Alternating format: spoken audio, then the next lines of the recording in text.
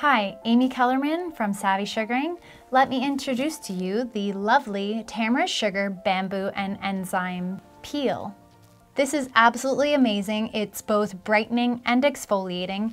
It can be used two to three times a week, or if they have more advanced skincare problems or ingrown hairs, they can use it on a daily basis. So it's got an ultra fine, lovely powdered base consistency, sort of like a powder.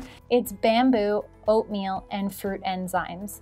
The best way to use this is you pour a little bit in your hand, you add a little bit of water to emulsify it,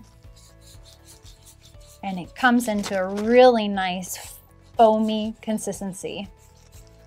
You can be using this on your face and body. It should be used ideally two to three times a week or for advanced skincare problems every day.